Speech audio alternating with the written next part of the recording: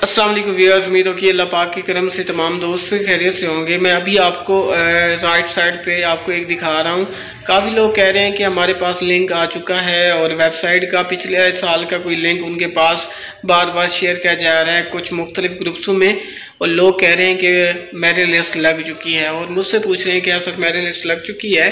تو میں آپ کو اس ویڈیو میں انفارمیشن دینے چاہ رہا ہوں کچھ سٹوڈنٹس ہمیں کہہ رہے ہیں کہ سر ہمیں تو میسیج آیا نہیں ریجیکشن کا لیکن آپ کی ویڈیو دیکھی ہے۔ تو اپلیکیشن جیسے ہم نے لاگ ان کیا سی این ایسی اس پاسورڈ ڈالا ہے۔ جن کو پاسورڈ نہیں مل رہا، وہ پنجاب ہیلتھ فاؤنڈیشن جس نمبر سے ان کو پہلی مرتبہ ریجسٹر کیا تھا میسیج آیا تھا پاسورڈ وہی پاسورڈ لگائیں گے ان باکس جائیں، وہاں دیکھیں۔ اس کے بعد وہ کہہ رہے ہیں کہ سر ہم سی این ایسی پاسورڈ لگاتے ہیں۔ اور پولٹر اوپن ہو جاتا ہے، ہماری آئی ڈی لاگ ہو جاتی ہے۔ اس کے بعد اپلیکیشن سٹیٹس میں جاتے ہیں۔ تو پینڈنگ یا انویلڈ آیا ہوا ہے، سر، ہم کیا کریں؟ لیکن ہمیں تو کوئی میسیج ریسیو نہیں ہوا۔ اب ہم کیا کریں گے، سر؟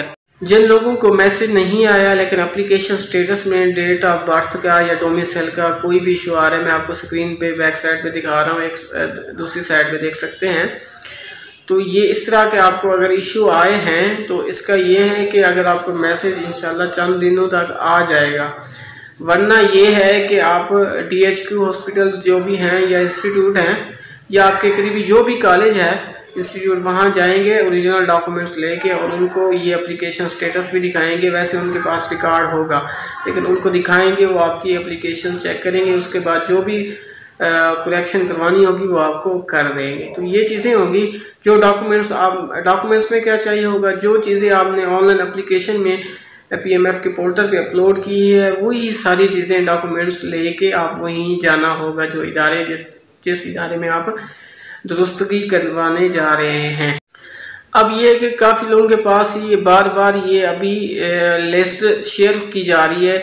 حالانکہ یہ پچھلے سال کی لسٹ ہے۔ میرے پاس بھی کافی اسٹوڈنٹس نے بھیجی ہے کہ سر یہ دیکھیں۔ لسٹ تو لگ چکی ہے لیکن ہمارا نام تو شو ہو نہیں رہا۔